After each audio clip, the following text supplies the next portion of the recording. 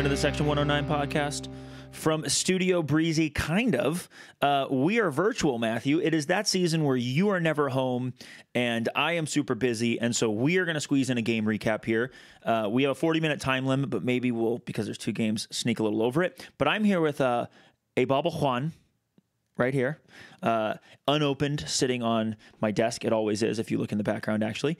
And um, yeah, vibe check, Matthew. Before we get straight into two games we have to review, Huntsville and the Miami United uh, Open Cup. How you feeling? How's work? How's life? Life, work, good. Uh, just you know, being up here doing my job. Uh, sucks that I missed uh, the game last night, but that's that's life. That yeah, happens are you a this ba- time of year. Why are you a bad fan? I just I, I don't know, man. I don't know.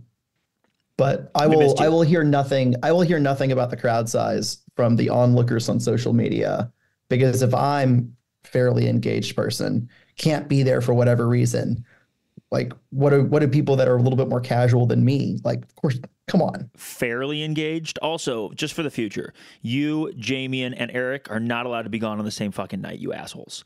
Um, oh, yikes! listen, it went. It actually went great because like uh, Ellie crushed it, and Vic was also gone. Uh, I don't know where he was either. I think he might have had to work or something. But anyway, it, we were running a skeleton crew, uh, but George and Sean and Bill Bolin in the back. Uh, and others, but like those three in particular, powered the fuck through. So back row bastards were doing their thing, and Timmy and a bunch of other people. But um, yeah, it was it was fun. Uh, that was last night. Vibes are uh, not quite as high today as we would like them to be. I, I feel like, uh, but that's what losing does. And uh, I'll just say before we get there, we've been on the other side of this, guys. Like this is the magic of the cup. Sometimes underdogs win, and it sucks. Anyway, Yeah, let's go to Huntsville first. Though. let's- let's go to Huntsville yeah. first. So Huntsville on Saturday, MLS Next Pro regular season opener, and uh, let's go ahead and, and just say it, it finished two two uh, with with the good guys winning three to two on penalties. We did not need to take our fourth or my, our fifth penalty because the of the John Burke save. what the hell are we calling it? Are we saying we won? I don't think we can say that. I think we have to say ti we we tie we drew, but we got an extra point. So I've been describing it to people, and I think this is a real question. Like I've been describing it to people, it's a stupid rule. I want to be clear. This is a stupid rule, and I don't like it. However, this is the MLS. We are playing in MLS Next Pro. They are experimenting with rules. They're going to continue to experiment. So these are the rules that we have, which is if, if you weren't paying attention or you didn't know, no big deal. Here's what they are. Just like hockey, if a game finishes in a draw, after 90 minutes. It is one point for each team, and then you go to penalties, which they're calling spot kicks, but they are penalty kicks. And the winner of the penalty kick shootout gets an extra point, so you get can get two points out of the game, and the other the other gets one. So, but it's not a win because a win would be three points. So I would call it a a draw with a shootout victory for an extra point. Yeah, I- that might be because how they that that it. denotes the that denotes the first point from the draw and then the second point from the shootout victory. Um, shoot- I don't know. We'll figure we'll figure that out with some time. Won a shootout to get an extra point. Yeah. So let's go through the lineup real quick. Uh, Jonathan Burke started in goal. Jesse Williams at right back. Anatoly Prepelica at, at right center back. I'm so proud Logan of your Brown. pronunciation of Anatoly. By the way, it's come such a long way. Logan Brown at left center back. Joseph Perez at left back. Uh, Andres Jimenez Aranzazu at the six. Alex McGrath and Luis Garcia Sosa at the 210 positions. Milo Garvanian at right wing. Taylor Gray at left wing. And then Ethan fucking Corin. Ethan motherfucking. Corin, uh, holding midfielder, converted to center back for the past two seasons, playing motherfucking nine striker. It was wild, Matthew. It was- how, we're not even. We didn't even. We're so shocked about Ethan playing that we haven't even talked about. We have a left back playing on the wing. Yeah. So all of this is really like, I, I think the entire, both Saturday and and honestly Tuesday night, like this all needs to be read like through a specific lens, Mm. which uh, which is like, uh, you know, Duvan Viafara, P1 visa. He subbed in very very very late for for stoppage time. You've got, uh, you know, Callum Watson got got a, a 78th minute sub against Huntsville. Mehdi Omri got a 79th minute sub versus Huntsville. Jude Arthur's not even in the country yet. There's a lot of like there's a lot of missing pieces going on. Carlos Rivas doesn't have his ITC. Jean Antoine is still Uh, out with his injury. international his international transfer clearance uh, from from his signing because he played for a Colombian club previously, so he needs his ITC before he can be registered here. So there's a lot of still moving pieces. Uh, whether like you know players have been here for a week or two or or, or practicing and are fully fit, just waiting to get cleared. There's a lot of stuff still going on, and one thing that I really appreciate about what Rod did uh, with this particular lineup, and, and it, it, in large ways it reprises on on Tuesday in the Open Cup, is if you are not 90 minutes fit, you are not starting. Uh, and he, by the way, he broke that rule a little bit with Callum in the in the Open Cup game. Uh, but like the process, the rod cess matters so much more than you know than looking good in the first 60 minutes of a match at the beginning of the season. There is a longer play here, and it's simply irresponsible to take players who are assets, by the way, for the club. They're they are assets. It is irresponsible to deploy them in such a way that might bring them a better chance of getting injured because they're just not fit enough. And that led to a left back playing at right wing, uh, something I don't think he's done in five, six years. Well, I mean, uh, And that- Ethan Corin playing playing striker. So the striker thing is hundred percent exactly what you said. The left wing thing uh, or right wing thing, right wing thing, is uh, because we have a bunch of injuries. Um, Right. Yeah. So, so it if is fitness at related, but it's not unlike the other ones. All of our other ones are P1 visa or long term injury, like Jean Antoine, um, all the P1s. But you have some just preseason injuries as well. Um, I mean, Jesus, Ibarra gets subbed out of the Birmingham match with a with did his hamstring in some way. Uh, Jalen uh, Jalen James gets subbed out early on in the season ticket holders match because of a concussion. Those are long recovery periods, and if you're still in the process of building fitness exactly. uh, But from also, the beginning of preseason, it's you not get just- set back a lot. I, I I agree that it's also fitness, but it's also just like if you have an injury and you play for a really long period, there's a chance you re-exacerbate that injury as well. So Right. it's like for And- that and winger think it- position was was just rough. And Damien, you forgot you didn't even mention Damien, who got hurt at some point, Cool. uh, and we don't know exactly when, but we do know he's hurt. Like, man, that's we're just in a tough spot with injuries right now, and that Yeah. that that is the Yeah, story. I'll- I'll- that's the story of actually both of these games. I think um, is that we're down essentially six starters in one, and you could argue five in the second one. probably probably another probably another six in, in the um, in the in the win the Tuesday game. Like I'll, I'll note that we only made three subs against Huntsville. You got Ibarra and and and Jalen James back on Tuesday night, which is really important. But you you can tell that Rod waited to make that sub for the I mean it was 80th minute, so it was last 10 minutes, whatever stoppage time happens, and then maybe if you if you if you nick an equalizer, you're looking at 30 more minutes. Uh, so like very clearly, like you know, intentionally did not play him against Huntsville to try to give him a little extra time uh, to build fitness ahead of Tuesday, and they still were minutes limited. Um, and, and and that's why you get you know Milo and Ethan starting again at you know at at, at your of your you know attacking positions. So let's let's go through real quick the goals against Huntsville, talk about the game a little bit, and then we'll we'll you know move on to the Open Cup. I'm just gonna pull the shade on this Um, window closed because it's shining in my right eye. You're good. I'll, I'll just keep going here. So the first goal um, of the of the next pro season, the first goal for for Taylor Gray in 11 months comes in the 41st minute. Uh, it's just a, a big ball from from Logan Brown. Uh, we went direct towards the wingers at times. A big ball from Logan Brown. Taylor Gray wins the header on on, on the outside back, and is able to to collect the, the, the kind of the second ball and and shoot it past the center back, and just has enough time uh, against the recovering Huntsville defense to slip it into the the bottom corner, and we take a one 0 lead in, in- into the halftime It's break. such it's such a smart finish too. Like the, the the individual skill to keep control of the ball and do other things is wonderful and great, but to take that early with the outside of his foot before the That was the last- defender gets that was- there. It's the that last was the last possible time opportunity he he has. had. It's perfect, and that also shows some growth in Taylor's game. Which in the, his first season here, it felt like he got he either missed or he got the last right before the last touch or or just wide or whatever. Like it felt like he just had that last little bit. And look, it's one goal. But we saw the first five games of last year where Taylor was our best and most important player in those first five games, then he got hurt. It's one league game, but he was very clearly very, very good. And that is a small sign. It is not a guarantee, but that encourages me and makes me excited for his play this season.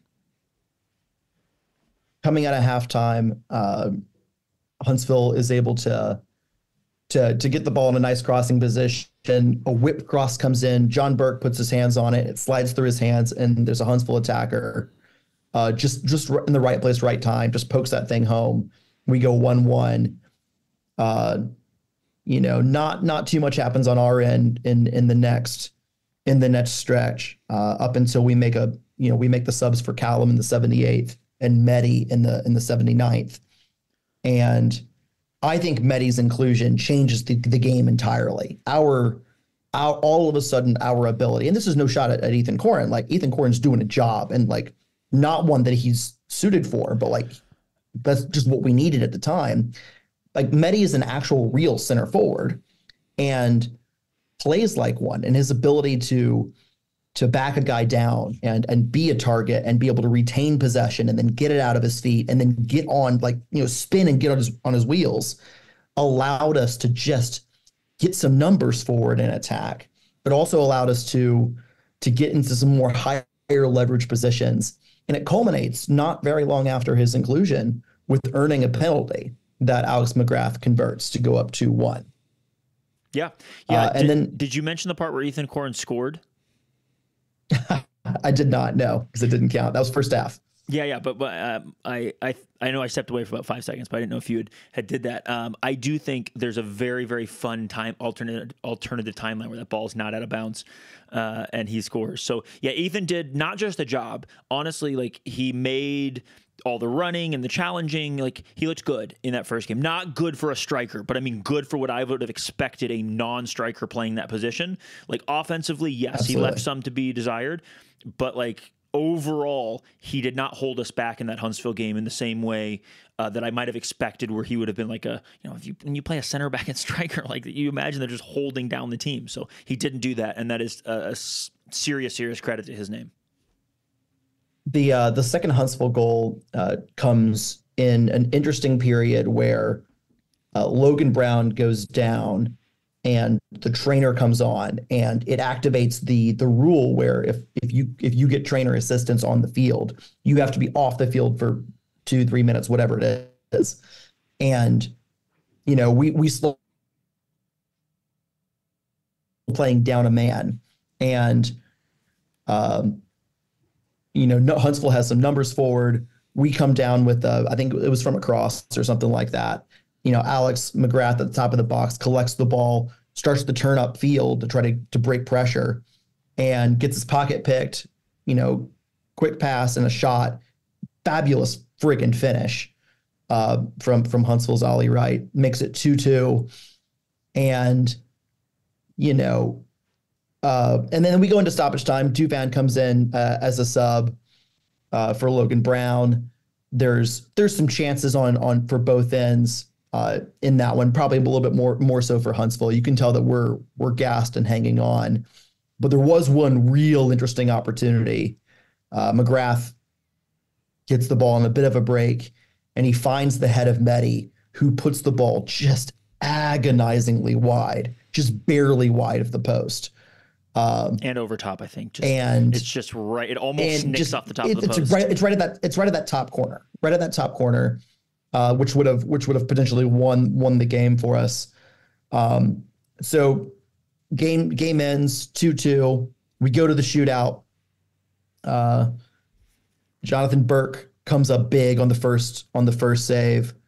Uh, McGrath is saved on his penalty uh, in in the shootout, and then Jonathan Bolaños for Huntsville skies his uh, with way- with deep respect for the academy kids with their shirts off, That- who definitely led him astray on that one. Also, John Burke goes, I think, the correct direction on that. So I'm giving all the credit to John Burke and the and the Academy kids for doing the absolute best. So the kids are all right. Matthew was my takeaway from this Absolutely. game because I did not expect to see Academy children uh, lining the fence there.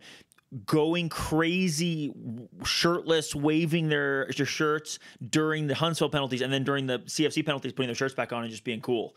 Uh, amazing, amazing. The children are right. And, and, and the wildest thing is, a lot of times in stadium, the shenanigans are the Chattahooligans. Like it's us doing the shenanigans, whatever it is.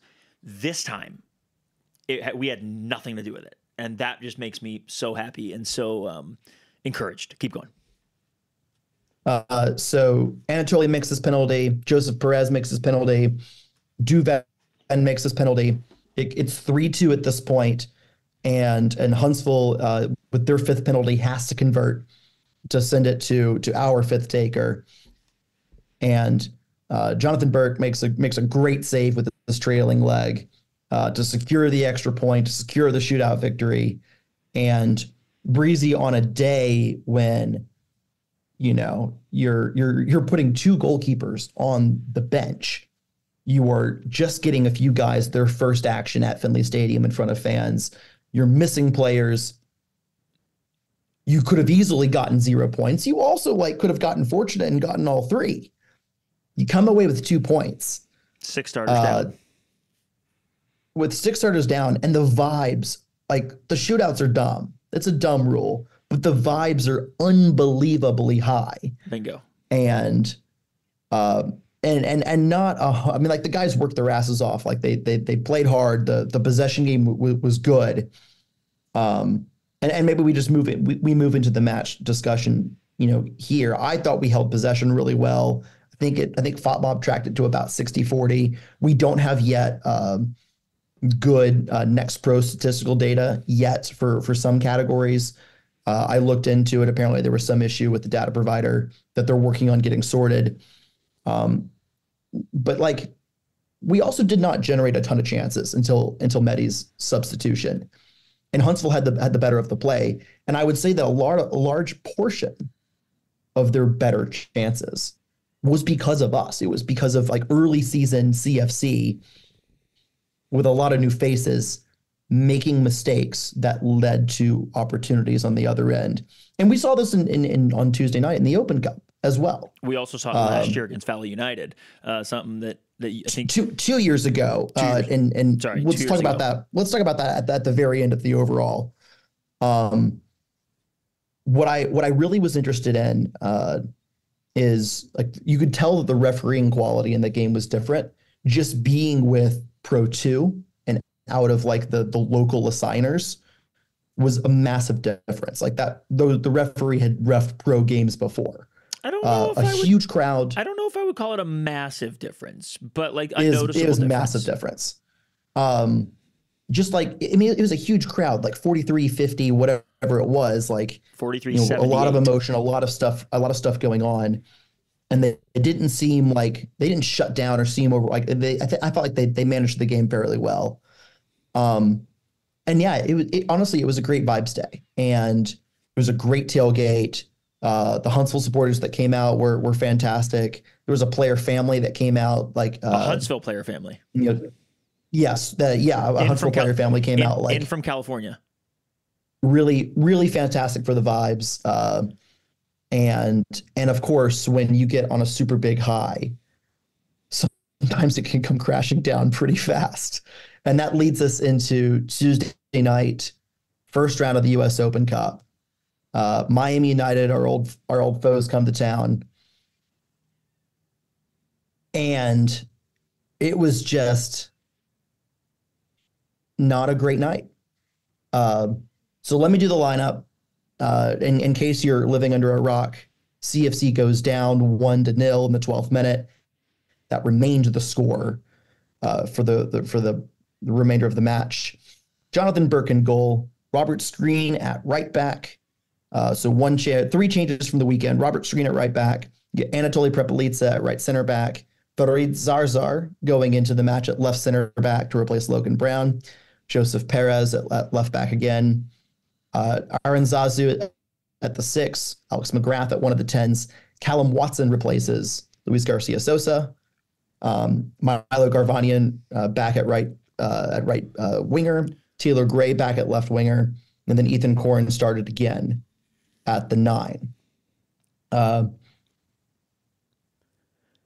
right off the first bat, off, right off the I was say right off the bat, like Ethan was really effective in game one in a lot of ways. I think because we went up first um, and we weren't chasing the game.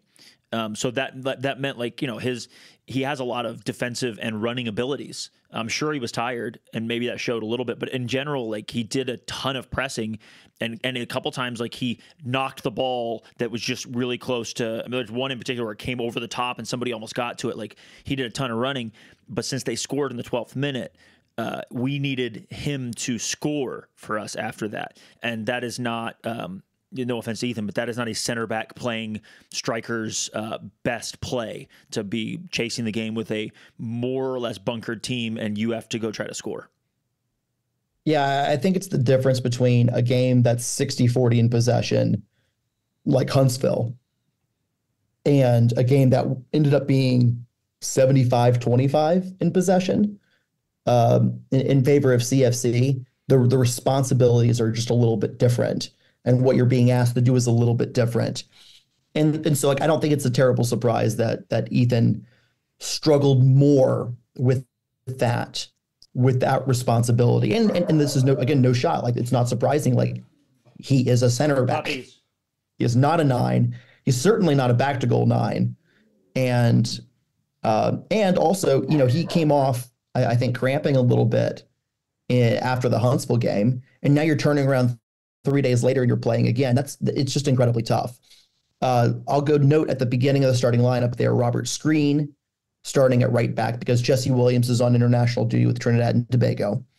Um, Shout out Jesse. Good luck this uh, Thursday. Yeah, tomorrow. Go go go crush the Canadians uh, on whatever day you play on Saturday. I think it is. I think it's. Uh, I think it's.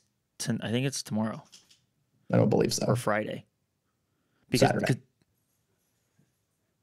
But then if they play on I'm, Saturday, they they would just play directly again on Sunday. Keep going. I'll I'll pull it up. I think it's single leg. Pretty sure it's single leg. Um, no, but I'm going. Got, I'm going to the U.S. game. If we beat Jamaica on Thursday, we're in the final on Sunday. The finals on Sunday. Yeah, but you guys, you, we're we're playing. We're talking about something completely different here. Uh, that's a semifinals thing, not a not another thing. In any case, uh, I'll note out here that uh, Callum Watson uh, starts started the um, at midfield for Luis Garcia Sosa. I think he got subbed out in the 69th minute, probably on a minutes restriction there. Um, and you know you're managing Luis's minutes coming off of three days of rest with another game on on the weekend. And in this one, Medi was able to go 27 minutes plus stoppage time. Uh, Jesus Ibarra and Jalen James make their appearances in the 80th minute and that's when we shifted into a, a full on back three, um, trying to push a little bit more numbers forward. Uh, yeah, but it also not not that not dissimilar from some games last year where Raw would switch to a back three with about ten minutes left in regulation if we were down a goal and chasing. Uh, I only have one real like specific thought about this game, a lot more general ones, but like we looked tired. Uh, we looked leggy. We looked not sharp. Uh, I'm not terribly surprised with any of this. Uh, and I'm not terribly surprised that that Miami came out and, and were confident and and, and sharp and, and really um, really up for up for this first few minutes. Uh, even even without the the free kick, the absolute banger of a free kick that it was. Um, you know they had they had a couple opportunities early, including a, a tremendously glorious chance very very early uh, from a, from a giveaway, and uh, you know a giveaway and build up, and and that's just you know I, I think you finished the first half at one 0 in and, and their free kick is generous, uh, but they earn they earn some stuff by turning us over, and, and maybe it should be considered as more us giving the ball away. Um, but I want to you know, I want to give them a little bit of credit on, on on that front for for coming out and and stacking numbers, you know, between between the lines and making it really hard for us to play through. Uh, more more than anything. Um, Breezy, I'm here. what are your thoughts on on doing a bit of a mailbag?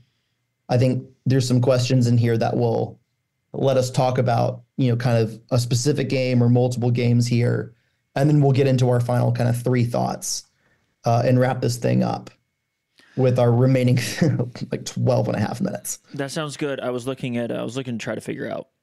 Wow, I think I'm lagging behind on the video. Um, I was trying to figure out what the deal was for this weekend and the um, the playing game and the who was doing what and what was happening, but I couldn't figure. I couldn't make heads or tails of it. Also, if you want to be be uh, a little bit prepared here with our very short amount of time, you might need to create a second one of these and record that one and then uh, splice them together. We'll just yeah. If this one ends, we'll start it over and I'll have to restart it because I can't do two at one Okay. time because Zoom is silly and I'm not yeah, paying for it. crazy.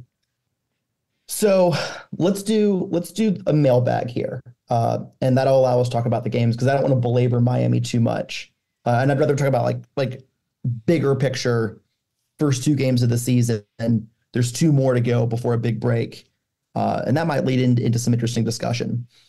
So uh, Justin Pizarro asks a question: Update on Jude, Jude Arthur, Hmm. and any idea when to expect a full starting eleven? Um, so I'll tell you from my perspective. Last I heard, Jude Arthur is waiting for his visa, and we saw that Medi turned around, from what we understand, his visa and getting here and getting his medical done in between seven to ten days. Um, so he got the he got the visa and he literally flew out like within 48 hours and was here. Um, so hopefully that's the same. And then it took about three days to get the medical done, get him into practice. Depends when the weekend falls, et cetera, et cetera. But um, you know, I it has been indicated to me that he is in preseason still with his other team, so he should come in pretty fit. But just because you come in fit does not mean you can start day one for Rod. Um, it also may be that you're good enough to do it, right? But you have to know what to do and how to do it in Rod's system. Rod's system is not an easy system to play in. Um, I think you saw that over the last two years. Um, it's a good system, but it takes takes a little bit of effort and, and time to learn. Um, so I'm not saying Jude won't be able to, but if Jude starts off on the bench for a few games, or he starts out and he's not as good, like, or any of these guys start out and they're not as good, like, remember, it's it's a complicated and difficult system to play in. So when will we first see our uh, our regular quote unquote starting 11 or our predicted starting 11 or the one that we would pre- predicted in the preseason which by the way we still haven't done uh, a preseason thing. Hopefully we will in the next little bit. Um, it won't actually be preseason. Uh, i'm guessing it is after the in that break that we have mid-april. We have basically two and a half weeks potentially without a game. Early, early, early April, what did i say? Mid. Got it. Um, my bad. So the early Yeah, I I early- expect it'll be that's i think Inter Miami too. the end yeah the end of that break is when i think we probably or potentially see that um that full starting 11 but even then if we don't see it yet look jean's coming off of a long injury. Not that jonathan burke can't play. We just all kind of assumed because jean started all last season that he'd be the guy playing. Like is his knee going to be ready? I don't know. Like who's going to be playing at that right wing position? Is it carlos rivas? Is it um damien is it jesus is it somebody else? Is it Jalen James? I don't know. Um, is Medi going to be 90 minutes fit, or is Rivas going to start over Medi potentially? Um, I, there's just a, there's a few more there's a few more things up in the air on what that starting 11 is going to be like. Um, but you can see Duvan and and Farid coming into fitness now. Farid starting the the Miami United game, and Duvan being getting a little play the other day. Callum starting. Like you're seeing some of the wheels turn towards getting us there, but. Yeah, that's what I'm thinking. Is in that break, we may see it all before then, but I think that's the break when it starts. Everybody starts coming together, and think about it: two two and a half weeks for Rod to practice starters, quote unquote, versus not first team versus second team, um, all throughout practice. Let those guys get time together, spend you know five days a week practicing every day, learning the system, learning the you know going through the Rod tests. Like that's uh, that's the reason I would project that period of time. Yeah, I, I I definitely think it'll be the Saturday home game on April 13 versus Inter Miami too. If you look at where we are right now, we're going to play FC, FC Cincinnati 2 on on Saturday. Follow that up with uh, New York City two away on Wednesday, the 27th. And then it's a two and a half, two and a half week break uh, with, with no matches until, until the 13th. Um, I, I believe that uh, Jude should be here and, and ready to go by then. Um, I don't think the transfer executes until, or payment executes, or however that works, until like he actually passes his medical. So, and that has to be here uh, when, when that happens. So, you know, I think that that break is going to do us some good. There's an interesting question in here, um, but I, I, I think it's going to be a fight in words question for us. So I want to I want to wait on it a little bit. Um, but I do I, I do I'll note that Breezy, you kind of covered Kyle Johnson's question here about is Gene hurt? Good to see Burke get minutes, but I expected Gene to play the home opener during the cup. Yes. Um, he had like a meniscus thing. He got surgery for in, early in the offseason. And that's a long recovery. And, you know, it was really good to see him go through the warm up um, and, be named to the bench on on on Saturday for the home opener. Can, can I let you um, He was not named. Can I let he was not named secret? to the team on on Tuesday night. Can I let you in a little secret? Yes, he was on the bench, but there's a reason there was two goalkeepers on the bench. He wasn't going to play. Yeah, yeah, exactly. And, and so, he was and not on the bench look, for. He is, he is, back in training. He is back in training. My understanding, he's back in full training, but I might have misunderstood. I spoke with him briefly, um, but somebody on the coaching staff told me like, "Hey, he was on the bench. Like we had him. It made sense. We're decimated with injuries right now, though, so we wanted to fill out a full bench. He was there, but like, look, if something happened, like I'm I'm now paraphrasing, but like Mike would have played essentially if something would have happened because John yeah. is just not quite there. His knee's not quite there.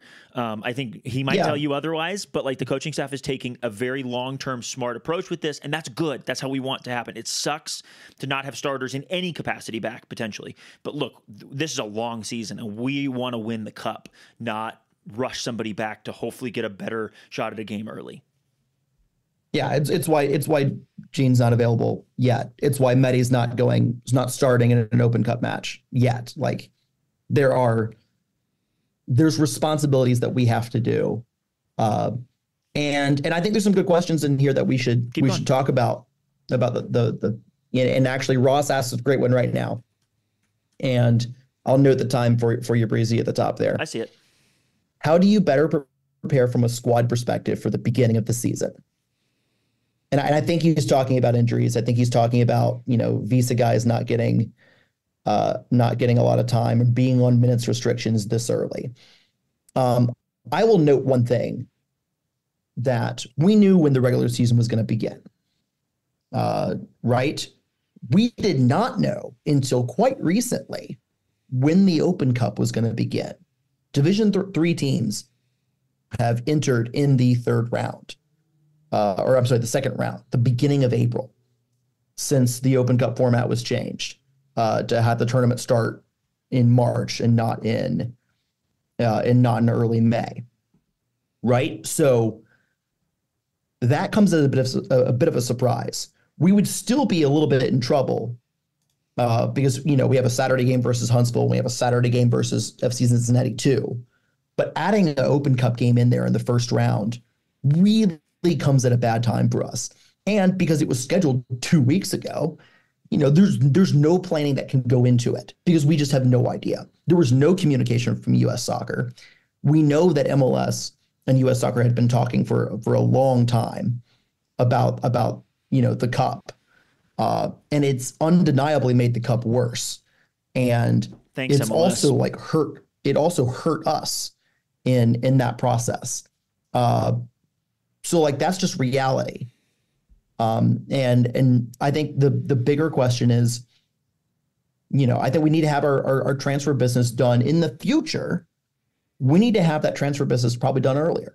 We need we need that month that it sometimes takes or usually takes between contract signing and actually getting a person in to start training. It's been it's been shaken out to be about a month, like actually like physically here and starting training after the medical process. We need that to happen probably by January one if we're going to have preseason at February one. So I have, uh, and I, that's a good that's a good lesson to learn. I got takes on this. Um, so yeah, I think like you said, we've got lessons to learn. Right, this is our first time having P1s. Also, because it was our first time having P1s, we had seven slots and nobody. Um, okay, we had two guys that that we in Anatoly and, and Gene, as our understanding is, those two guys qualify as international spots. They don't qualify as domestic players. They did qualify as domestic in NISA. However, I would guess. So we know that a lot of these guys are on two-year deals with a club option. Um, I would guess in the future we're not going to have seven. We're not going to have seven spots to fill. We're going to have two or three probably per off season. Yeah maybe even one or two sometimes. And so, yes, we have to be better. Clearly, we have to learn. Uh, we have to go through this process. But sometimes the opportunities don't come early. Um, and it's a hard balance to strike. I think if I could ask for us to do something differently, yes, you, uh, we need to have the vast majority of our, excuse me, international players in and set by January 1st. No, no question. However, it's just not realistic in year one, and it's not realistic every year. We see this in USL. We see this in MLS sometimes, where you they don't have an international guy or two. It's not usually seven but a guy or two. And we don't clearly we don't have seven out, but um, it's not, it's not a common thing to fill this many spots in one offseason, and it yeah. took a little while. Also, don't forget, Jude Arthur is coming in to replace Richard Dixon, a, a signing we were not expecting to make, a signing that we right. find out found out we had to make midway through the preseason when um, the the medical test discovered that that thing with Richard. So, and then he chose to retire. So that is like that the, it's just a really tough situation. Do I want to see us operate a little differently in the future? Yes, I do. Um, but I'm not gonna like lambaste Rod and the and the team for quote unquote doing it wrong because like you're doing it for the first time and our backs were very much uh, against the walls. We were very much put against a, a, weird situation, a tough situation. So we need to be filling, better about it. Excuse me. Filling two spots is vastly different than filling five spots, Bingo. for example. Also, and I'll note that Jesse Williams that signing was done in in the end of December, and and he was you know like his was ready to go and like in in through he was there day one, so you know we had four we had four that we were behind on and one that we never were expecting to make, and I think that's that's the big difference and it's a it's unlikely to, a, a situation that's unlikely to repeat itself in that kind of number. Let's pause right here, start a new meeting, and we'll be yep. right back. A few moments later. Well, before we were so rudely interrupted, um, do we finish that question? Do you feel like? Yeah, we're good. Let's move on. By the way, that's a great fucking question. Yeah, you, you big, I, I, agree. You big big nerd. that's some shit. That's some shit. I you and me w- would ask and talk about. So I I fucking love that question. Exactly. Okay, let's. uh Bill Oldtread's got a, a series of questions here. Uh, um, I think we combine, I think the, are, combine the first two. Okay, can do, can do. I'll, I'll read, uh, so I'll read them. How about read them and ask you this time? I'll let you go first, so I'm not bloviating as much. Uh, Matthew, do you think we came out flat in the Open Cup, or were we just outplayed? Like, what hurt us the most? Was it players we had available, Miami's defensive strategy, refereeing mistakes? Um, by the way, we called them NISA referees, and it was very funny. Uh, or whimsical first touches all game long. Yes. I mean, like, frankly, the answer is the answer is yes, like to all of it. Uh, we were flat. We were we were leggy. Um, you you know how like like in preseason, you, you that first game is not remotely like your your last game because you ratchet up the intensity, you ratchet up the amount of minutes with intensity that you have. Um, I I think the I think we were we were prepared for for Saturday's match against Huntsville in terms of like the the, the proper intensity and, and whatever. And I think Tuesday's match coming coming three days after, uh, uh, we were just not as prepared. I think because we were we were not just fully recovered uh, from a match of that kind of intensity on Saturday, and you couple that with Miami, who's a good team, right? It makes that's the kind of game that makes you primed for an upset. And that's before we talk about this whole six starters thing, right? Um, so like, yes, we were flat. Yes, we were outplayed. Although I, I would contend it was us making our, our, our own mistakes, much like Saturday, um, that that really caused us to be in in a tough position. And you know that's that that's part of it. Yeah, our first our first touch wasn't good. Yes, the referee was awful. Um, and I don't think the referee is what caused us to, to lose that game. I think the referee could have helped us out a, a good amount. Um, you know what what the the Miami player did to Milo on on one of those corners was disgraceful. Um, and I mean, like it's it's a full on chokehold, dragging him down. Like I don't know if he hit his head on the ground or on the post, uh, but it, it's just disgusting stuff. Like that's a penalty and a red card. Um, there's a moment in, and I don't know if it's in stoppage time or, or in the 80s somewhere, um, where where like Medi physically dominates a guy with his back to goal, lays the ball off, and is turning to make a run in behind. Yep. And the center back headhunts him, knocks him down. It's not shoulder to shoulder. It's not like he takes like a perpendicular line, headhunts the guy, and the referee is just like, nope, I didn't say anything play on. Like that is disgusting. And it's also a red card because it's probably dog so. Because if that ball connects, you know, yes, there's an outside back and there's another center back kind of sort of in the line. But if that ball connects, it's just Medi on on the keeper one on one, like the chance that he had uh, that put just wide in the in the 67th minute or whatever it was. Uh, it, it's just it's just nasty stuff. It's typical Miami, but it's just nasty stuff and and that's a referee that's just not prepared for for that kind of environment and that kind of game and you get all these things that happen It's and, also- and and there's it's also possible that we understood it was Miami we understood the kind of players they are and, and the kind of game they play and given our situation with the injuries coming off of a game three days later it's entirely possible that we pulled out of some challenges that we didn't want to get hurt that uh, that we couldn't kind of play through it a little bit, and and I think that also like made our our job more difficult, and and I I think all of these factor in, and it, and it's a prime example why you know a pro team can sometimes get upset by an amateur team like it happens every year in the Open Cup. We saw Right. this. We saw the Like, same. Vermont scored Vermont scored three goals in a row uh, on Lexington, not just an hour after after our game started. Like this is this is a regular thing that happens. it's it's it's also the same thing that like I I mean I predicted this pregame not that we would lose but that like seven the first 75 minutes of every Open Cup game against an amateur team like the amateur team is more up for it and it is tough because they are potentially just as good as you potentially. And it's always the last 15 minutes where they fade every single time physically fade because they're not pros. They're not training every day. They're not the same level of fitness. We saw it in this game. We just didn't get the goal at the end. That doesn't make it okay but you saw like with 15 minutes left in that game like we were dominating and we just couldn't get it done. That's not me defending it. I'm not saying it's okay but that is the reality of the open cup. Um, pro teams versus amateur teams is some of the magic of the cup as yeah. well We've been that. I- I think we've been the, this like- team before. We've been the team upsetting people, and it sucks that it's Miami, and it sucks this was their Super Bowl, but we weren't good enough, and we have to be better. No, and you know I, I think I think this team will be fundamentally different. And and this is actually a good question. Let's move into it. Uh, Bill continues and he asks any adjustment any adjustments you guys want to see going forward. Uh, and I'm just going to give my standard personnel as policy answer. Like I just want everybody to get healthy. I want everybody to get in. I want everybody to get fit. Um, I have said we said on a, on a podcast going into the start of the season that this team was going to be fundamentally different in game one to game five, uh, which is Inter Miami two. This team will also be different game five to game 20.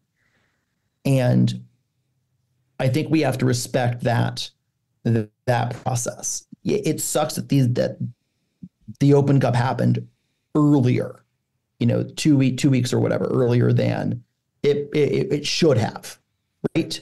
Uh, and it sucks that we were less prepared for that. But also, like, this is what happens. Like sometimes the pro beat and knocked out in the first round of the cup, like, and and and it finally happened to us. This is the first time. I think this is the first time in CFC history where we have been knocked out of the Open Cup by a team lower in the division than us. Um, and if I go if I go pull up the game document for CFC's entire history, I'm gonna wager that we've won like three of these or four of these games against teams at a, at a higher division. Um, like sometimes, you know, sometimes it finally happens to you, um, and that sucks, but that's okay. And and I'm willing. I wasn't there in the stadium, so I did not get the emotion of the drums and and and the, the singing and like physically being there, right? Uh, me watching a game in a hotel room is is a vastly different experience. Um, so I can rationalize it a lot a lot easier without without some of the extra emotional bits from that that I would have from being there. And we we were exactly a team that was ripe for an upset, given all the factors going on, even before you get into the Miami being a, a fairly good team. And what was really encouraging for me in that game is that you know we subbed on when we were able to sub on Medi, an actual forward. You know, just his presence there helped open up uh, open up some passing lanes in the middle for the midfielders to be able to find some gaps and get on the ball. His ability to hold up the ball and bring other players into the game uh, allowed us to advance further forward uh, on the field, uh, closer to the the opposition box. Uh, compared to large portions of that of that game before he subbed on, where we were not able to do that very much. And we were not able to do that very much against Huntsville either. So those are really good signs going forward that the like that the elements of what is needed to be successful in this tactical system are there. We just simply need to get, you know, Medi needs to be 90 minutes fit. We need Carlos's ITC to come in. Uh, we need our starting goalkeeper back. You know, Jesse Williams on international duty. We'll we'll get him back, hopefully for New York City uh, right? You know, getting Duvan, uh, a massive ball playing center back from from Colombia, getting him integrated in. Um, I think we're missing. I think we're missing Richard Dixon on the field. Um, you know, an experienced player. He's guys. He's, he's played nearly. I think he played 200 matches, over 200 matches in his pro career. Uh, nearly 100 of them for CFC, not quite and you know you were missing him at the six. You're missing a true six on the field. Uh, someone like a Jude Arthur. You know, we're we're missing some of hopefully getting some of those wingers back. Uh, it's just I don't think Rod's going to blow up the system.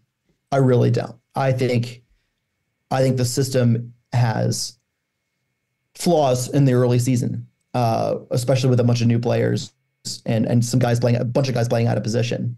And you know, this is going to be my first key takeaway. I'm just going to go ahead get it out of the way now, even though we have one more question uh, that I think you and I are going to fight about. Some of y'all didn't watch the Valley United game in 2022, and it shows.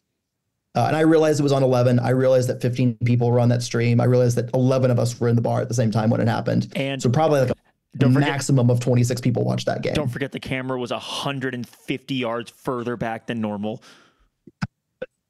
But some of y'all didn't watch Valley United. And it shows. Uh, who beat the ever living fuck out of us. Uh, game finished nil nil. We had a chance to win. We should have lost. We should have lost. Uh, the XG was probably not pretty.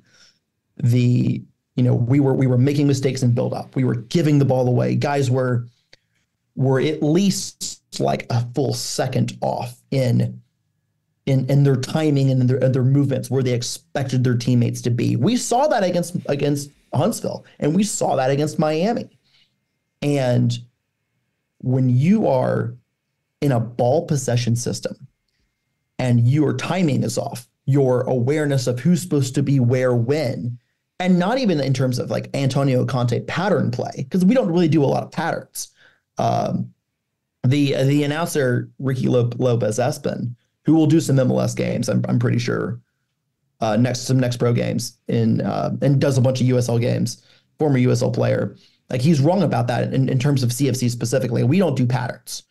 Um, it's about guys like figuring out movements, making little decisions every single second about where they should be, when they should be there. Where's the ball probably going to go? So where should I be for the next pass?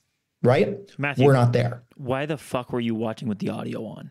You know better. Because I wanted to hear you guys. Okay, thanks, buddy.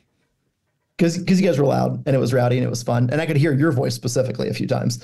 Uh I was. Uh, you can hear my voice right now. It's pretty. Um, it's a few notches yeah, lower. Rancid. hmm So, um, yeah, there there are these. We're, we're just like we're not there yet. It's not a tactical thing. It's really not. It's a personnel thing, and until you get proper personnel, especially at the forward positions, with with all due respect to Ethan and to Milo, it makes not having options available uh, like regular options, like like medi-sized options available at the forward, affects what the, the center backs do, which affects what the the midfielders do, which affects how we can play through that.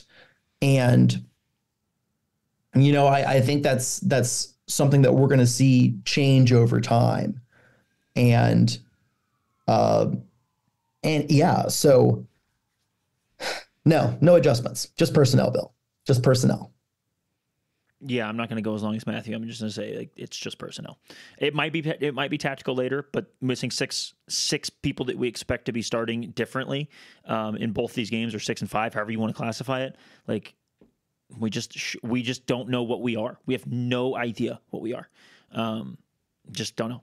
So we'll know more later on, but I don't I don't have any adjustments I want to see. I just want to get see guys get fit and guys start playing together um, so that they can get better. But we, as Matthew said with Val United, I agree with that. Like it is the trusting the rod test part. You gotta like trust that some bumps and bruises are gonna happen early on in the season. It sucks that we had one must win game in four and we fucked it up. That sucks. But that's soccer. You and that's play the and that's the cup. Gotta play the games. Um, and that's any and that's any cup tournament, right? Uh, in any single elimination tournament, like if you don't have it on that day or you don't prioritize the cup or like whatever whatever thing, you could easily get knocked out. Um, and it just happened to us. I will note one more thing. It's it's not all 100% personnel. We did see some adjustments happen in the game itself. We saw Taylor Gray trying to move centrally a little bit to to combine a little closer with Ethan Korn. We saw Milo do the same thing, and that allowed that forced some of the like the center midfielders and to to occupy more specifically people as opposed to spaces, and that did allow some of our, our midfielders to end up in better and bigger pockets of space for our center backs to play into um, between lines and gaps. There were some adjustments that that were made, and and obviously like Medi Medi's inclusion in the second half helped that a lot even more. Um, so I want to see more of that. Uh, in when when when when the time is right, and I think you you'll just see a little bit more.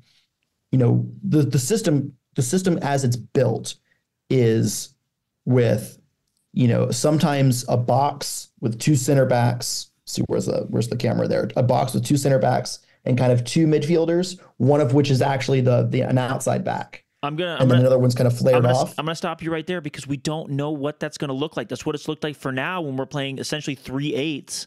Like you don't know what that's gonna look like in the pre- in the season. You can't make comments on tactics right now. You can make comments on the what we've done in the preseason in, in one and a half games, but like we don't have we don't know with Jude Arthur. Do we go back to just a straight sitting six that sits there and, That's everybody else runs around? I think that's likely, but who the fuck knows? Like we just with with six players missing, or five players missing, or seven players missing, depending on your calculations of which game it is. We just don't fucking know. You don't know. That's fair. While But- get, while getting adjusted to a new league, it may be best to not be as congested with players not fully available and out on international duty. This gives us a good two and a half week spell after the NYC game to regroup and hopefully give everyone get everyone in and game fit. So, is last night's games lo- again last night's loss I can't read actually a win for the group in the long run, Bill? I know what Yes. you're, I know what you're going to say. Hundred percent yes. Fuck off. It just is. Fuck off. No, it's not. No Like- loss. No loss is a win. No loss is a win. It's not. It absolutely. Another game. I'll give you the. I'll let you, I'll, I'll let you. I'll let you. I'll let you go. I'll let you I'll go. give you the non-emotional reason. By the way, the emotional reasons are good enough that the cup matters and we should want to win. Uh, I'll give you that. I won't even give you any financial reasons because we could have hosted an MLS team or who the hell knows what else. But here's why it matters because another game, game time playing, getting players in and getting players more minutes together in that stretch, we'll still have would have had two weeks off. It just wouldn't have been two and a half weeks off. We would have had a whole other time for guys to get minutes. We needed that game. We could have used that game. It could have potentially been a home game. It's not good. And and losing is never good, guys. Never. I uh, in a cup competition. I understand in a regular season you can make that argument. Hey, and I've made that argument. We've made that we've made that argument many times. Trust the rod cess. Like time's gonna go. It's gonna put. There's no trusting the rod cess when in a knockout tournament. When you're in a knockout tournament, it's win or go home. And when you don't win, that is not good. Period. There is no other bullshit about having an extra three days to practice. Fuck that shit. Uh, it's not an extra three days. It's a week and a half uh, if you if you do win, uh, with more more schedule congestion later on, and we'd have to move. Uh, we'd have to move a regular season game if you win that round two game. Listen, it sucks to lose in a knockout tournament. It sucks to lose in the first round. It sucks to lose to an amateur team. Um, all of those things are true. This particular group needs more time and they need more time on the practice field. Um, because you're looking at you're if you're if you're playing that round two game you know you're in a better position because it's a week after the new york city game and you have a little bit of time afterwards. But like then you're then you're focusing on play, playing games and you're not in training. And we need to be in training right now uh, this this set of games at the beginning of the season is is four games, or I'm sorry, it's one game straight up Huntsville, and then it's three consecutive games on short rest. Uh, that is rough. It's not good for this team right now. It's not good for for for betting some of these new guys in. Um, and in the long run, it will probably benefit this team a lot. Uh, there's a reason why teams, in, in whether they're in MLS or th- there's a reason why MLS teams that are in CONCACAF and that make a CONCACAF Champions League run often struggle in the MLS regular season in the first half of the year. And sometimes it, it mostly kills them for the entire season. Look at New England Revolution's record right now. I don't think they have any points, uh, but they're they're still advancing in CONCACAF. Seattle Sounders last year were, uh, I mean, they won the CONCACAF Champions League, but the amount of extra games that they had to play, it decimated them in the MLS regular season. And that continued all the way through the fall. Uh, I think, I think Jeremy would tell you uh, that the Open Cup absolutely matters, and, and you want to advance, and you and you want to to win and advance as far as you can. But it had effects on that St. Louis team that he had in his last year when they made it to the quarterfinals. So I think I think in in this in this year specifically, I'm not going to worry about it too much because I think I think this team in its first year in MLS Next Pro, its first year at what is what is undeniably a higher level than NISA, what is uh, in a situation where you have guys on P1 visas for the first time, which we could not have before. All of these things mean that we really need to get down to business in in April You're and you're uh, telling me for, that for the rest of the season. you're telling me the second the, our second Open uh, Cup game would have come right in the center of a two and a half week break. Uh, a week after New York, and then a week and a half before before Miami. You are out of your fucking mind if you think that was bad scheduling. We complained about having three weeks off before the tournament two years ago. We don't. We we've talked about how rusty we come in when we have too much time off. It it's set up fucking perfectly to be right in the middle where you and you, you when you're training you're training for games too by the way you're not just training training in the preseason the guys are mostly fit the guys need to get game shape and get ready that is an asinine take about schedule congestion i it could have been true later on Okay, we're doing a little skip and Shannon here, but like this is just it could have been This true is later this on. This is a team. If we win the second round, sure, maybe then it fucks up schedule congestion, whatever else. But you are out of your fucking mind if you think this was a bad scheduling fixture congestion issue. It came right in the middle. It would have helped us. Would have given us something to do during those. It would have given us something to train for. And look, if it's if it, if the next rounds had happened, yeah, sure, maybe. But there's no guarantee those would have happened. It could not have fallen for us better uh, scheduling wise. And you're out of your fucking mind.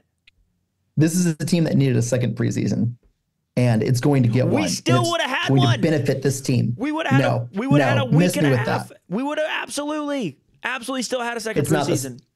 It's not the same. This this is gonna this is gonna end up benefiting us later on. Uh, however, however the the embarrassment from a first round loss hurts. It just will. Losing is never okay. Losing uh, in a knockout tournament is never, never okay. Uh, what are your other takeaways? Because we're not going to agree on Uh, you so wanna do my- back and forth anymore. Uh, It's been a let's do, long, it's been a your long time since you were this wrong on something. By the way, By the way, it's just you being wrong. I'm always right. Let's do your three key takeaways first, and then I'll come back with my next two once I write them. yeah. So uh, look, cup sets suck. That's my first one. Um, we've been there before. We've usually been the team doing the upsetting, um, as you pointed out earlier. It just didn't go our way. Um, I'm gonna be sad about this, but like this has no bearing on the rest of the season. Um, like on the field, it has some emotional bearing on the rest of the season, but like we're gonna be all right. It just it sucks. It, it losing sucks, and but also like this is the magic of the cup. This is why you do it. The Open Cup is undeniably good, and uh, hopefully next year we we make a Cinderella run and go beat some MLS teams. It just didn't go our way this year. Um, look, Saturday was magical. Uh, the vibes were great. Um, we talked about the kids, like the 4,300 people, the excitement for being in a new league and a new chapter um, for Chattanooga Football Club and for, for the Chattahooligans and for all CFC fans and for the greater just Chattanooga community. Like everybody had a new piece of, of the pie to to be excited about. And so um, that was a weird analogy, but you get where I'm going. It was wonderful. Um, the vibes could not have been better. It, several people told me that it felt like you know pre-pandemic vibes, um, pre-2018 vibes even. And like, look, the vibes back in those days when we were making really, really deep playoff games were pretty immaculate. Or really deep playoff runs, excuse me, were pretty immaculate. So um, I agree with. I don't know that I would say the vibes have been bad since then, but I do agree the vibes were top notch. And so I want those to continue. I can't wait for Saturday. Can't wait to go again. I can't wait to get out of these three o'clock games, though. Um, I prefer the seven o'clock kickoffs. And uh, yeah, um, you know, look, as, as low as yesterday was, Saturday was that same high. That was that was the they were the opposite end of the spectrum. And guys, trust the process. Support the boys. Like this is uh, a tough this is a tough loss. It sucks. Nothing has changed. We're we are out there for a long season. We are trying to be the best team in MLS Next Pro. We are trying to win a title. Um, we were trying to win an Open Cup title. Didn't happen. Okay, move move on. One game does not make us. It's our second game. Like I understand it hurts. I understand it feels bad, but like trust the rod says. We have seen it. We have two years uh, of coaching our team, and we have a, him having a whole nother year where we've seen that the team that starts the season is not the team that finishes the season, and just have faith in that. Personnel wise, tactics wise, playing wise, everything. Trust, trust the rod says. Yeah, my my second takeaway is is more broadly summed up. We aren't now who we will be. Uh, on the field, we're not who we will be later on. Uh, Rod's teams tend to progress, uh, especially with, this many new pieces. It took some considerable time for that 2022 group to really like get the to get the system to start to understand and to start to, to rack off some wins. And you know and and, and progress isn't linear either. So like there's going to be some up, ups and downs. And and that's just part of it. Uh, but but ultimately and this goes to point three okay we're out of the open cup. So what is there left to do? It's, it's the league. It's mls next pro.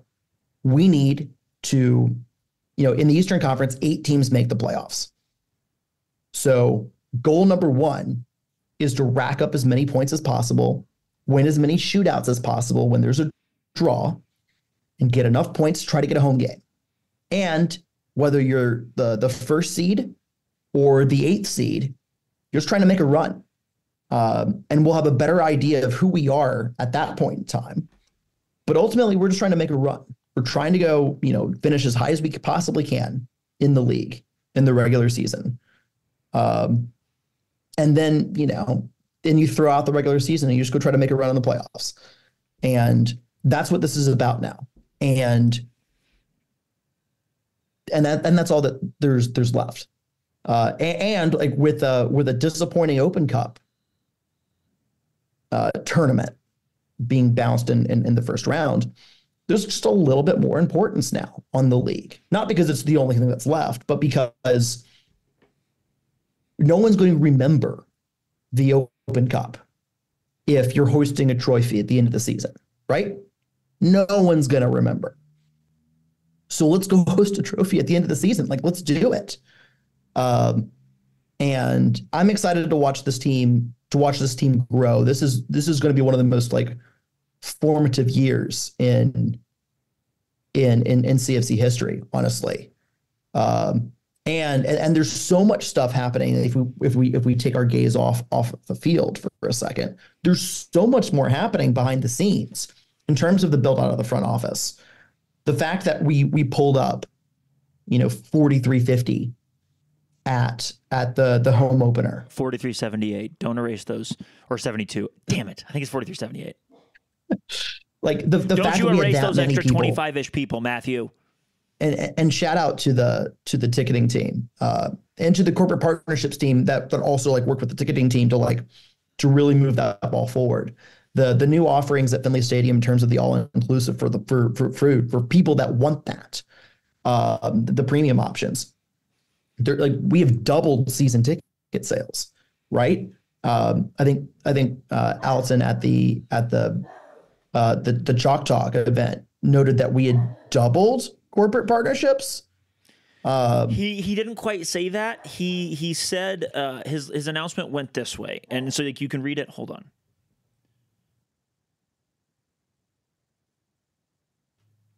Dogs are barking at the window. Nice that we attended. we attempted to do one. and We started the new meeting. Here we are. Um, so he said they had doubled their goal of um, in in kind sponsorships and they had Oh, yeah. they had more than doubled their goal in non or maybe it was switched. Um, anyway, basically, like the what it sounded like to me, and, and I don't want to put words in Alton's mouth. He, you know how you can you can switch numbers to like support anything you want. Um, so I, I want to be careful that we're not like thinking it's like some crazy things happening, but maybe it is. But basically, one of the numbers was doubled and one of the numbers was tripled. So we're, we're at like double our projections for, um, let's say, a cash corporate sponsorships and then or corporate partnerships rather and then we're at like triple in in kind um, corporate partnerships. So that is very the, whatever those numbers really truly are it sounds like they are big increases from last year and it's very very very good. And that, that is a positive for cfc uh, sustainability long term and really a, a very good sign um, going forward for for our club that we want to be the best club it can be. Yeah, I, yeah, I can't, I can't say, yeah. Um, there was one other thing I was, I was gonna, gonna mention. You know, there's, there's, there's also a lot going on in terms of, like, obviously, there's, there's tons of, of, of money and investment going in, uh, and hopefully, you know, we, we every year we talk about some of our, our biggest goals, uh, whether they're long term, medium term, you know, is there is there kind of long term stadium stuff? Is there long term player housing stuff? Like what it, what is going on? We don't really know about, any of that for especially for the purposes of this this podcast. But like, this is an incredibly exciting year because stuff is starting to happen, and you know don't don't let, in my opinion, you you can think whatever you want, listener. Don't let you know a bad result on a Tuesday night. It's like 45 degrees get you down on on the possibilities of what this season could be. Uh, this is going to be a good one, and it, it's maybe taking a little bit of time, but this is going to be fun. i would like to I'm, I'm very excited, and I'm I'm no less excited about about the rest of the season or Saturday Bingo. than I was before Tuesday. Absolutely not. i agree with If that any, if anything, I'm that. a little bit more excited just to be contrarian to the rest of y'all. There we go. That's what it is. Okay, so I want to uh, do a really, really quick uh, That's So Nisa segment. So it's something I wanted to bring back. I don't know if I'll continue to bring it back, but the Nisa season is about to start. In That's So Nisa, hashtag That's So Nisa news, the betting sites, you could bet on the Open Cup for the first time that I know of. I am not a sports better, and here is why. I would fucking love it, and I would spend money, and I would lose money. So I don't do it. Um, yesterday is the first, genuinely, the first time I have regretted deeply not having sports bet. Matthew sent me a screenshot of someone who bet $50 on two NISA teams winning, and they won $1,200. It is the exact same bet that I would have made, to be clear. The exact same bet I would have made with a hundred bucks. I swear to you, I would have put a hundred dollars. I would have made two thousand dollars. Now, I don't know if they would have won if I would have put $100. I might have jinxed them. However, in the That's So Nisa moment of the day, the Nisa teams were favored to lose massively against amateur opposition. These teams also didn't even have the correct uh, titles of the, uh, the other team. The Villages, I guess, have rebranded to Brave SC or Brave FC or whatever they are, but it still listed the Villages. It was beautiful. It was magical. NISA teams out there making some people money. I mean, you never know. Maybe the Asian betting markets were uh, were getting involved, as we uh, rumors we heard a few years ago. So for your first That's So NISA segment of the 2024 season, hell yeah! I I wasn't even rooting for the NISA teams, but I love that somebody's making money off NISA teams winning in the Open Cup. And This that is is, so Mike- fucking Mike- NISA. This is this is friend of the pod, Mike Pendleton here, uh, who's a Tampa Bay Rowdy supporter. He took Savannah Clovers plus five seventy five, It's so good. which is incredible, and then and then parlayed it with Maryland Bobcats plus two seventy five. So the- both of those both of those were road teams, by the way. Yeah, both yeah. NISA teams were road so teams. I want to be clear. The Savannah, the Savannah was a bet, right? I, the, the the 575 line is insane, which is why I would have bet it. Um, and I, I know very little about sports gambling, but I know enough to know like that was a terrible line. The the upside there was too good to pass up. The Maryland is probably a uh, like similar to being right, like closer to being right, rather like slightly not favored because they're going on the road. Just just And- switch them. correct. Just switch them. Correct. Well, no, no, no, no, no, no. Maryland should have Maryland should have been favored. Like they had anyway. Yeah, Mar- Maryland should have been favored even on the road against an amateur team. Bingo, exactly. But they were neither team was favored. Both teams were under were dogs, and then you add them together and you had a great odds play. Those are the Yeah. kind of odds you get by doing like a five game parlay and some shit on on like the March Madness or whatever. Anyway, I will I will I will was fun. close it with I will close it with this. There is an Open Cup game on Thursday night uh, that takes involves an amateur team and a USL League One club that I will not mention. The odds currently on that game, if you thought that Savannah plus 575 was crazy, now granted, this is the the amateur team being the dog. It's sitting around plus 1200. plus 1200 i personally know someone who's put put a fiver on that one Uh, yeah, that is that is fun as well. Um, I all right. If if you if any listeners out there are musicians, uh, I know Eric and I have talked about this a little bit. Um, I would love a that's so Nisa five second jingle. Um, really, really old timey and stupid. The dumber, the better. That I can put on my um, pads so that I can hit that every time we go to talk about that so Nisa because I want to talk about it just about every week. Um, anyway, there's there's shout out there. Thank you, listeners. Thank you, viewers. Uh, this should be on YouTube. I hope you're watching this on YouTube. Possibly, if you're out, it's because I can't figure out Zoom. Um, but hopefully, you'll be watching this on YouTube uh, or possibly. Thank you. Sorry that we are not together. I know it is genuinely a worse show when we are not in the same room, especially if we're arguing. Um, but this was how it had to happen. Thank you guys. Um, thanks for all you do. Thanks for as CFC fans making uh, this community the family I choose. And like Saturday ruled. Last night sucked, but it also ruled. And uh, yeah. Uh, there was there were some guys from out of town that were there, uh, several different capacities, and every one of them was like, "Wow, this shit is special. You guys are fucking special. This is a different thing, and this is amazing." And I, I couldn't uh, echo that more. So anyway, thanks for listening. Thanks for watching. We love y'all. Peace.